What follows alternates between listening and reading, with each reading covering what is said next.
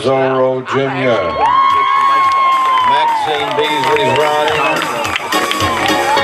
Maxine Beasley, Zorro Jr. to the blue. Joan Beth Beasley.